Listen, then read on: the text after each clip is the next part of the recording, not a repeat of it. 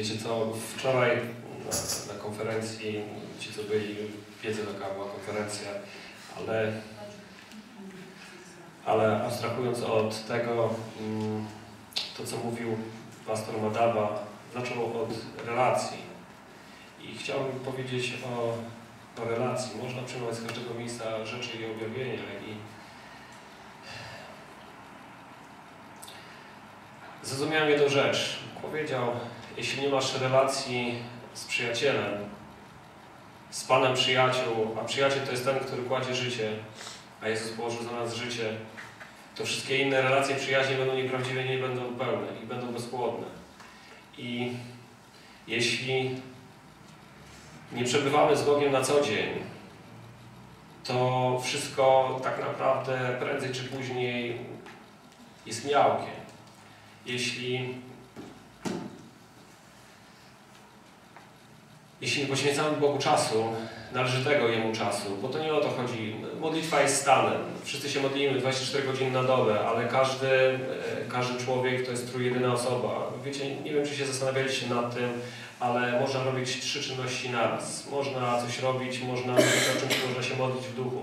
Te czynności, trzy czynności można robić, ale jeśli nie wygospodarujemy dla Boga czasu, tak naprawdę nie będziemy się mogli opróżniać, to co Agatka powiedziała, nie możemy się opróżnić. A jeśli się nie opróżnimy, to wszystko to, co, to, co po prostu Bóg będzie próbował w nas nalewać, to się po prostu wyleje, dlatego że tam już coś jest.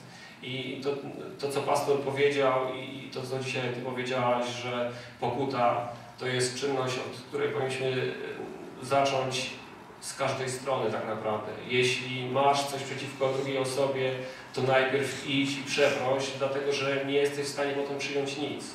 Jesteśmy w takim miejscu, gdzie potrzebujemy coraz większego wzrostu, coraz większej czujności duchowej i nie Amen. jesteśmy w stanie tego przyjąć, jeśli, jeśli z Bogiem nie spędzimy czasu. Jeśli poświęcamy tylko pół godziny, powiedzmy Bogu czasu codziennie, poświęćmy więcej. Wtedy następuje przełom w życiu. Jeśli nie robimy tego wcale, musimy zacząć, bo inaczej po prostu to wszystko się rozpadnie w naszym życiu. Wszelkie relacje będą nieprawdziwe, wszelkie przyjaźnie będą nieprawdziwe, to ani chcę, ja nie chcę w swoim życiu miałkości. Ja, ja, ja nie chcę. I zachęcam Was wszystkich, żebyście po prostu e, spędzali czas z Bogiem sam na sam, tak po prostu, nawet nic nie robiąc, nic nie modląc się, po prostu. Wtedy będziecie słyszeli, będziecie się opróżniali. Jezus dokonał na krzyżu wymiany krzyżowej. On tam wziął i dał.